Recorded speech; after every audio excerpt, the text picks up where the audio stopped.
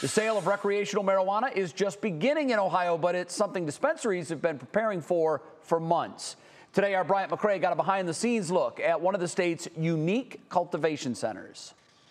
Here in Huron, a cultivation center is proving sometimes the grass is greener on the other side. The greenhouse of Firelands Scientific, spanning more than 30,000 square feet, is at the center of marijuana production here in the state of Ohio. The state-regulated production of the drug is done through three stages, vegetative, flowering, and post-harvest.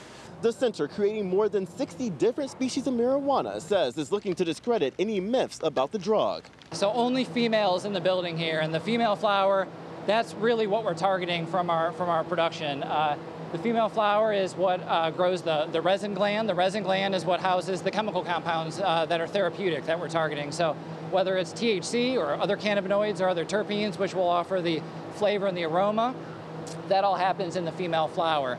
Definitely a new definition of flower power. For more information of Firelands Scientific, head to our website, wkyc.com.